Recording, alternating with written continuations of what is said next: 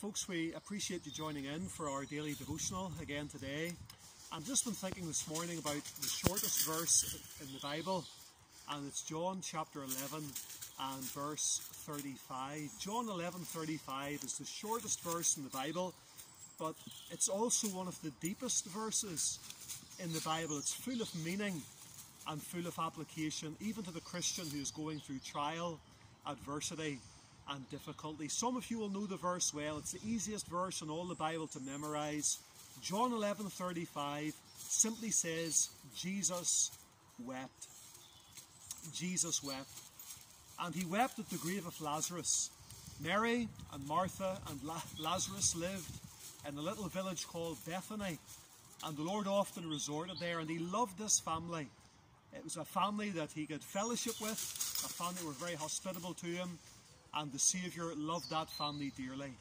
But just because the Lord loved them and just because they loved the Lord didn't mean that they were exempt from trial and adversity. Because the Bible says in John 11 that Lazarus became sick unto death, and it came to pass that he died.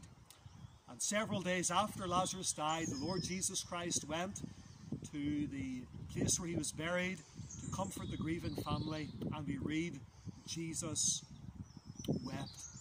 And as we think about that little verse, there are three things that I want to leave with you that we can learn from the shortest verse in the Bible. Jesus wept. It shows us our Lord's humanity. Our Lord's humanity. Jesus Christ our Lord was perfectly God and perfectly man, two natures together in one person forever. He knew what it was to be hungry. He knew what it was to be weary. He knew what it was to be thirsty, and he also knew what it was to experience sorrow. The Bible says he is touched with the feelings of our infirmities, and was in all points tempted like as we are, yet without sin. Never forget that the Son of God can identify with us in our humanity. It also shows us his humility. Jesus wept. The very Son of God, the creator of the ends of the earth, the eternal Son, the Alpha and the Omega, God incarnate, knew what it was to weep. That shows us his humility, his condescension.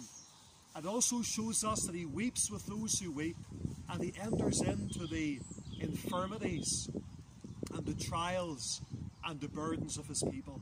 Maybe today you've got a heavy heart. Jesus Christ is a Saviour who can identify with you. There's not a pain that rends the heart, but the Son of Man has his part. It shows us as well the Lord's sympathy.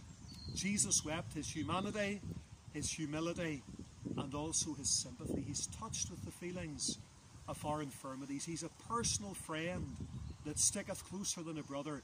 He's a wonderful Saviour, a wonderful Lord, and a wonderful Master. And he's moved with compassion whenever he sees this world of ours that's lost. He saw the multitude scattered abroad, as sheep without a shepherd. He was moved with compassion, and he's compassionate even towards his people. I trust that the Lord will encourage you, that you'll know that the Lord's with you, that you know that he sympathizes with you, he understands what your needs are, even in these difficult and trying days.